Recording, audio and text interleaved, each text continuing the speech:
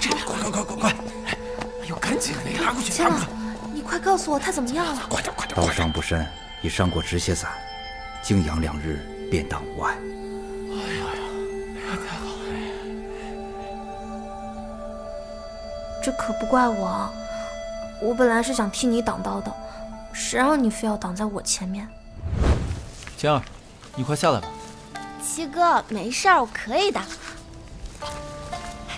七哥，你看我厉害吗？啊啊！七哥疼吗？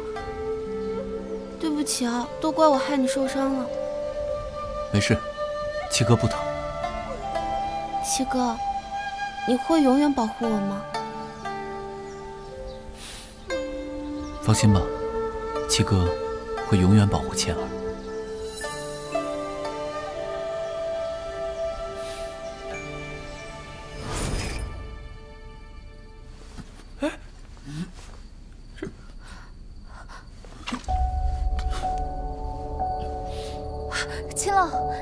殿下怎么了？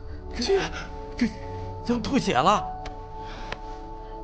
殿下此次中箭，并未伤及肺腑，为何会变得如此之重？难不成那兵刃有毒？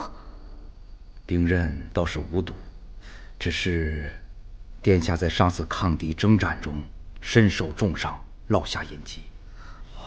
近日隐疾发作愈加频繁，恐有性命之忧啊！啊！殿下有隐疾，我为何从未听闻此事？殿下对此事一直守口如瓶，想必是有所顾虑。这病难道就治不好了吗？老臣也只有用尽各种名贵药材，帮其延缓寿命。原本殿下应该还有一线生机，只是……只是什么？只是，那能救殿下之人已死，不提也罢。不可能，一定还有别的办法。啊，糟了，关键时刻怎么少了一味重要的草药啊？什么药？我现在就去买。哎呀，此药极其罕见，我也只在临江老屋中有少量备药。只是，需在三个时辰内给殿下服下此药。否则的话，哎哎，夫人，哎哎，这，哎呀，我还没告诉具体的位置呢，快去追上王妃，告诉要在西院第二间房，左手要柜第三格。哦，好。愿天佑殿下度过此劫呀！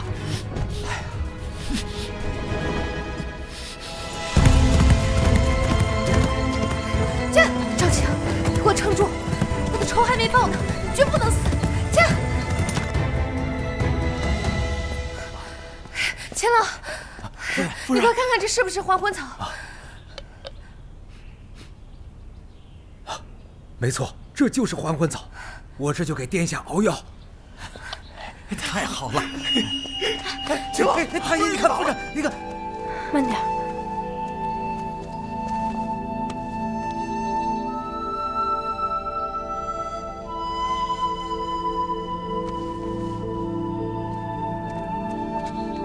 太医，夫人怎么样？无妨，只是疲劳过度，休息一下就好了。一夜奔袭三百里，真是难为他了。殿下这次可真是娶了一个好王妃呀！那太好了，我这就去熬药。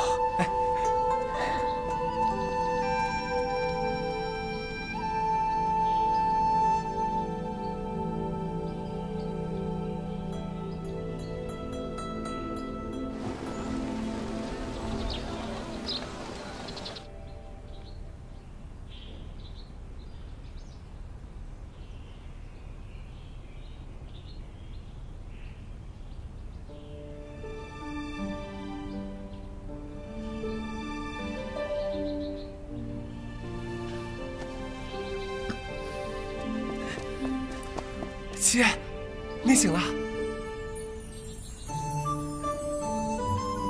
这怎么回事？昨夜您突发隐疾，是王妃连夜赶了三百里路，才给你找到的救命药。后来疲惫昏倒后，一直叫着您的名字，属下和青老就想，你们都已经是结发夫妻，所以干脆就给你们。胡闹！他什么身份？你难道不清楚吗？哎小人知错，先弃责罚。退下吧。哎，是。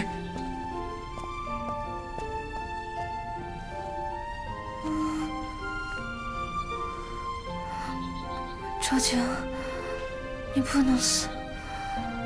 周景，呃，那个，我没有，你别误会。我知道，昨晚的事情，多谢夫人。那没什么事儿的话，我就先走了。